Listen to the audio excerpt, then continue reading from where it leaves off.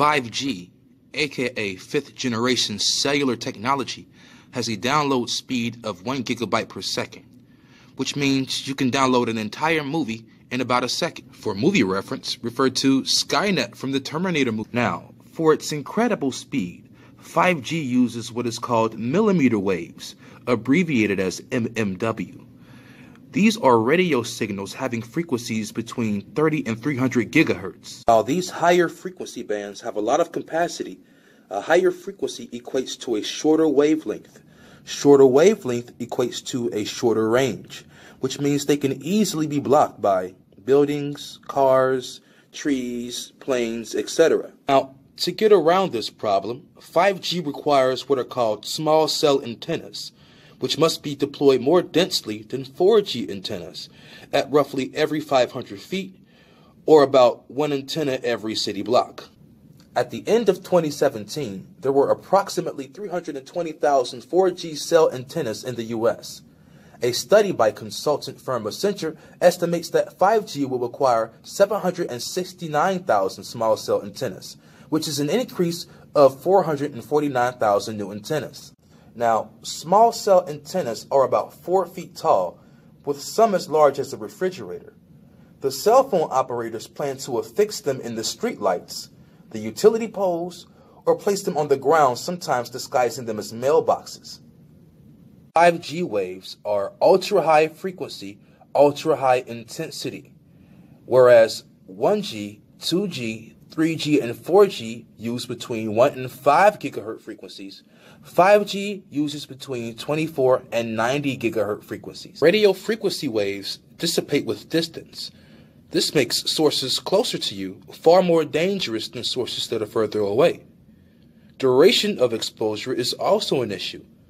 Small cell antennas will be activated 24 7 for your convenience.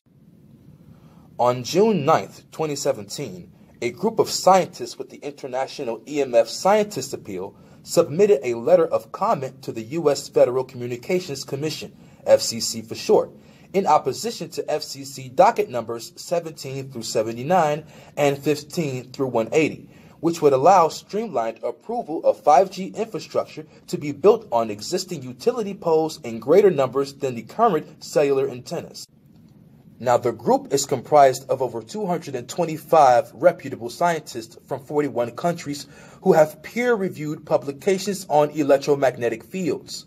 Their letter calls on the FCC to critically consider the potential impact of the fifth generation wireless infrastructure on the health and safety of the U.S. population before proceeding to deploy this infrastructure. Now, for some strange reason, the FCC is urging an accelerated deployment schedule for the fifth generation wireless infrastructure to be installed pervasively throughout the U.S. Of course, it's being done without public health review of the growing body of scientific evidence that includes reports of increasing rates of cancer and neurological disease that may be caused by exposure to EMF from wireless sources.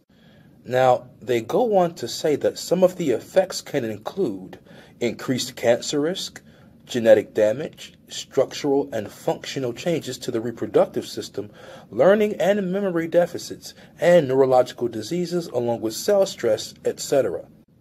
Now, 5G radiation is similar to the waves used to cook food in your microwave. Because of that, Dr. Yael Stein of Jerusalem's Hebrew University sent a letter to the FCC commissioners, the U.S. Senate Committee on Health, Education, Labor, and Pensions, and to the U.S. Senate Committee on Commerce, Science, and Transportation, outlining the effects of 5G radiation on human skin. Now, according to Dr. Stein, over 90% of microwave radiation is absorbed by the epidermis and dermis layers of human skin, essentially making it an absorbing sponge for microwave radiation. Also, the sweat ducts in our skin's upper layer act like helical antennas, specially designed to respond to electromagnetic fields. In essence, our bodies will conduct 5G radiation. And how will this affect our babies, pregnant women, and the elderly? Do they care? Probably not. As a matter of fact, the U.S. Department of Defense already has a weapon called the Active Denial System, which uses millimeter waves to make people's skin feel like it's stinging or burning. Turn this weapon up a notch, they could microwave people to death. Now, Trump seems to be all too excited about this 5G rollout. He's praising it as some sort of breakthrough, talking about its incredible speed and it'll transform the way we'll learn, work, communicate, and travel. He said it'll make American farmers more productive, American manufacturing more competitive, along with better and more accessible health care. First of all, competitive against what? Competing for what? Against whom? Why? In January 2017, Trump appointed Ajit Pai, a former lawyer for Verizon Communications, to the position of the Director of the U.S. Federal Communications Commission, otherwise known as the FCC. Now, understand that Pai has been an advocate for the weak of state and local regulations regarding 5G deployment. 2018, another Republican, FCC Commissioner Brendan Carr, announced a plan to streamline the environmental review process for 5G infrastructure, claiming it will cut costs for the telecommunications companies by as much as 80%. Now, to bolster their case, Pai and Carr have trotted out words designed to keep every red blooded American going.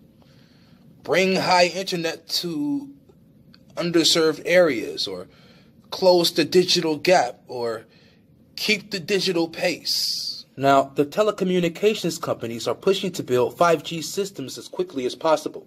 They have even deployed a small army of lobbyists working state legislators to pass laws that restrict local oversight of 5G. Why the rush? And why can't we have a say?